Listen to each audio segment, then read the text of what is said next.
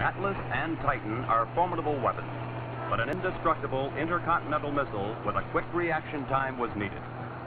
Minuteman, the solid fuel, instant ICBM that is fired from concrete underground silos was the answer.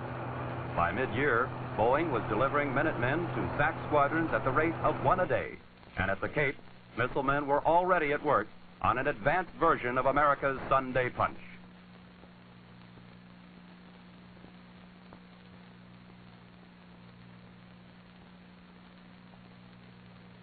This early flight ended with an explosion that was visible for miles.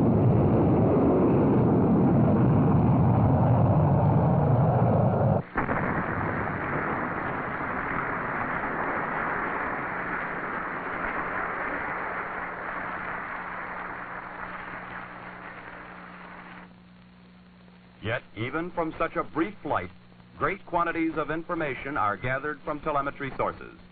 Resulting changes and improvements will soon have the advanced Minuteman as reliable as the earlier models now operational with the Strategic Air Command.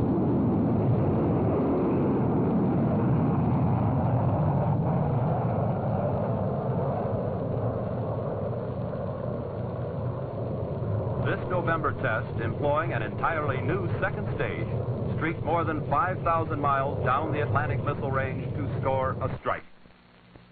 The Navy's new extended range Polaris also experienced some difficulties in achieving its full 2,500 mile range.